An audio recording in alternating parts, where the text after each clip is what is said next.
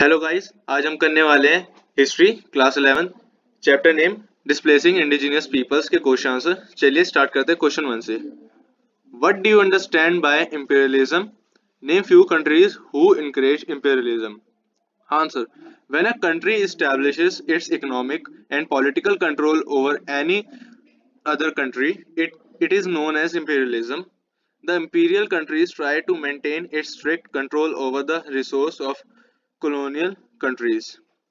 The countries which encouraged the policy of imperialism were the following. First, Great Britain. Second, Spain. Third, France. Fourth, Holland. Fifth, Poland. Question 2. Discuss the physiographic features of the continent of North America. Answer. The physiographic features of the continent of the North America. First, this continent extends from Arctic Circle to the Tropic of Cancer, from the Pacific to the Atlantic Ocean. Second, the Rocky Mountain chain is to the east of the Great Plains, the Great Lakes, and the Great the valleys of the Mississippi and the Ohio and the Appalachian Mountains. Third, the Great Lakes, the valleys of Mississippi and Ohio and the Great Plains lie toward the east of the continent. Fourth, Mexico is situated towards its south. Question third. What do you know about the earliest inhabitants of North America? Answer. It is estimated that the earliest inhabitants of North America came from Asia on a land bridge across the Bering Strait about 30,000 years ago. They moved towards the south during the Ice Age 10,000 years ago. The oldest articraft was found in America about 11,000 years ago. About 5,000 years ago, due to climatic stability, population began to increase. Before the advent of Europeans, the Native Americans used to live along, live along the river valleys and produced crops such as maize and several kinds of vegetables. Question 4. How did the exchange of goods between the European trades traders and the native of North America proved beneficial for the Europeans? Answer. After arriving North America, the European traders came to know that the native people assembled regularly at the bank of the river Mississippi with an objective of exchange of goods. They exchanged handicrafts and food items. Only those goods were exchanged which were not available in the particular region, the European traders took part in the exchange of food items with an objective to boost their trade. They gave items like blankets, vessels, and guns. These items proved beneficial for the natives in one or another way. Before the advent of Europeans, the natives were not familiar with the wine, but the European made them addicted of wine it proved very beneficial for the Europeans and succeeded in dictating their terms to natives. Question 5. What were the views of natives regarding trade and the Europeans? Answer. Natives' view regarding trade, they had different views as compared to Europeans. The native considered exchange of gifts between friends as a social behavior, but for the Europeans, it was just for profit making. The European traders wanted to earn more money by selling items such as fish and fur. The natives were unable to understand why the European traders sometimes offered so much in lieu of exchange of goods and at other time they offer so little for the same. They did not know anything about trade. Views about the Europeans. They remained unaware about the Europeans for quite a long time. In their folk tales, they portrayed the white people, either the European trader, as greedy and foolish people. Question 6. Discuss the view of Washington Irving regarding the natives. Answer. Washington Irving was a famous American writer who personally got a chance to meet North American natives North American native. According to him, they lived with the white peoples and spoke less because they were unaware about their language when they gathered about gathered together they did not miss even a single chance to entertain themselves by mocking at a European. The Europeans, on the other hand, believed that the natives respected them because they impressed the Indians with their magnificence and glory. But it was a fact that the European did not treat the native with the respect. Question 7. Why did the Europeans start to come and settle down in America during 19th century?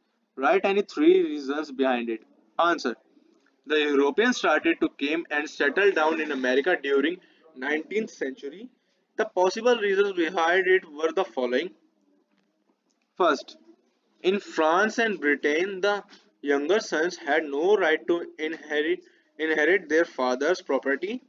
Therefore, they were eager to buy their own property and took keen interest to settle down in America. Second, the farmers of Germany, Italy and Sweden had lost their land to big landlords. Now they wanted to own some land and migrated to the USA in search of pasture land. Third, the people of Poland also started migrating to America because here land was available to comparatively less rates. The Polish people were quite happy to work in prairie grasslands because it reminded them about the steppes to their hometown. It encouraged them to buy more land here. Question 8. How will you justify that the Europeans and the natives of America had different perceptions regarding forest and agriculture? Answer. Both the Europeans and the natives of America had different perceptions regarding forest and agriculture. The European cleared the forest with iron tools to make it ready for agriculture. Doing so, they wanted to increase the area under maize and other crops. The natives were surprised at their activities. They never used to grow crops such as much as required for subsistence. They never thought about growing crops to make profit. They believed that forests are their source of strength and considered it to a sin to cut them. In this way, had difficult perception perception regarding forest and agriculture. Question 9. Discuss the methods adopted by Europeans to displace the natives. Answer. With the expansion of European settlement in America, natives were displaced from the region concerned. The method adopted by the Europeans to displace the natives were the following. First, they used to inspire the native people to abandon those, those regions. Second, in case the natives refused to abandon those areas, they were threatened. Third, they had deceitful acquired more land karke from the natives and forced them out from here. Question 10. How did the European justify the displacement of natives? Answer. The European justified the displacement of natives by saying that they, the natives, did not the judicious use of their land. They criticized them by calling them sluggish. They were unaware about their crafts skills to produce goods for the markets.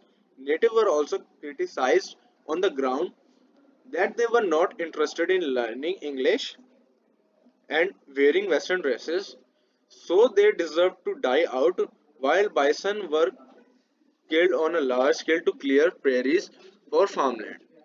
Question 11.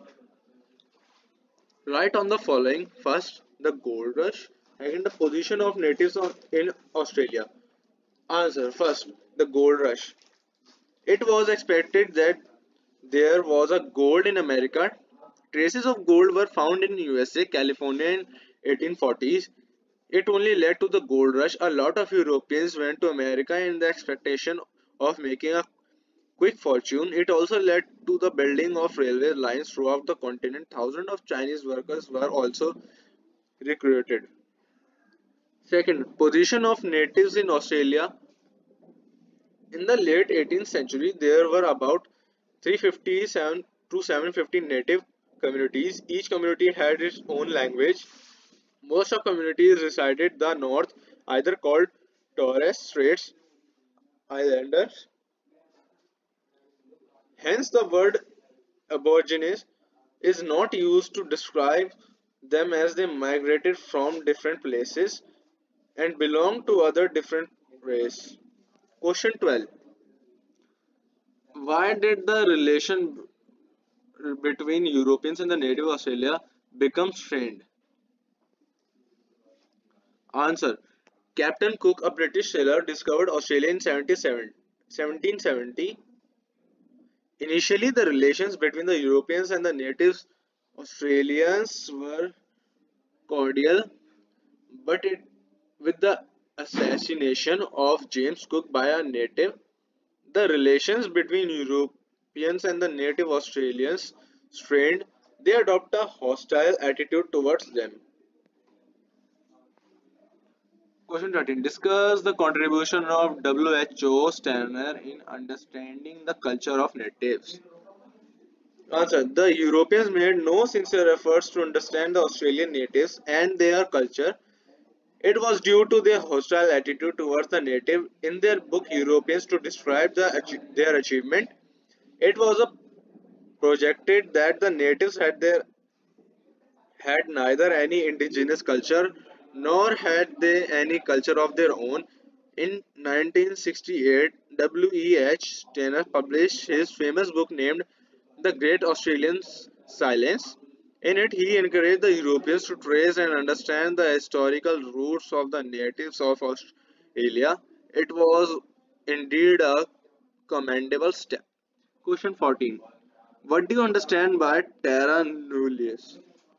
Answer. Terra nullius means belonging island belonging to no one the government of Australia always termed the land of Australia terra nullius. The right of natives were also undermined. The terra nullius was legally invalid. Question 15. Discuss the beginning of economic development in Australia with the establishment of European colonies. Answer. With the coming of Europeans, and establishment of their colonies in Australia, the process of economic development speeded up. The Europeans established larger sheep rearing farms. They kept and reared the sheep merino. They cleared forests for the development of agriculture. Production of wheat was encouraged and large vineyards were established to encourage the wine industry. Mining industry was also encouraged laid the foundation of prosperity of Australia. Thank you.